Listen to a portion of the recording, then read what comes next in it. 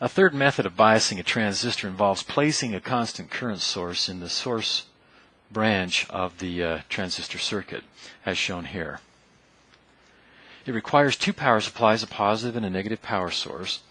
The ground or the gate resistor here, as in the previous example, simply provides a DC reference. So at DC, the voltage here then is equal to zero.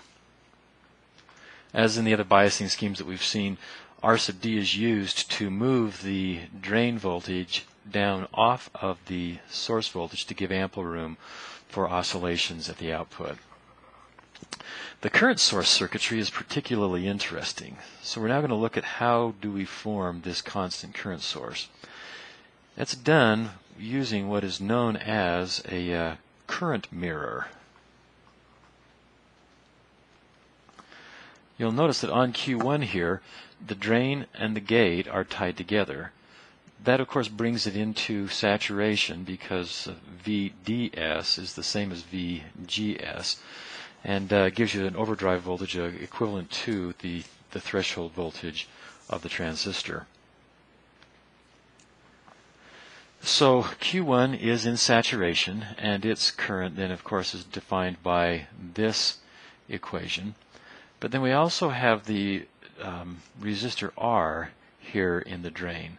So the current flowing through this resistance, we're going to call it the reference current, IRF, that is also equal to ID1, the drain current, since there's no current going through this uh, short to ground. So I reference then can also be found by taking VDD minus V source, so it's the full um, the full separation of voltage across the entire circuit minus VGS. You'll see that the voltage here is VGS, so the resistance across this resistor is, or the voltage across this resistor is VDD minus a minus VSS, so plus VSS minus VGS divided by R. These two equations then establish the current I reference Again, since no current goes into the gate, I reference is just equal to I, um, ID1.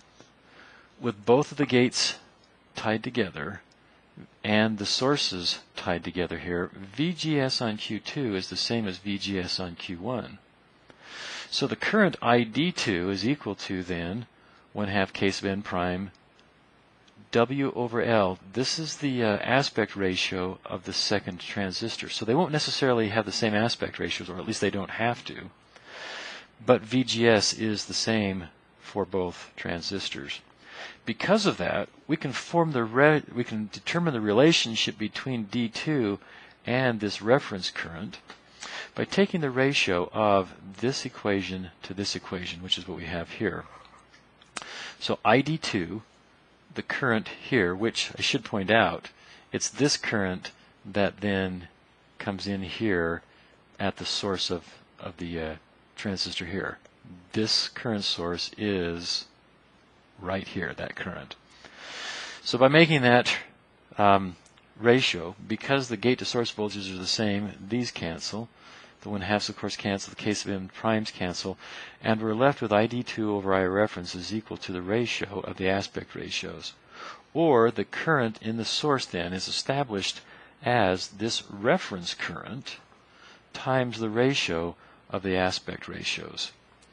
This then gives us a constant current source over realistic or reasonable range of currents. It's set by this resistor and this um, this transistor. You'll notice that there's nothing in this that's going to cause this current to drift or vary. There's no load on this. It's simply whatever the resistance or whatever the current is flowing through this resistor and this saturated transistor. Any load that comes on this current mirror on this current source is coming through this transistor, and this current is held constant by the gate to source voltage.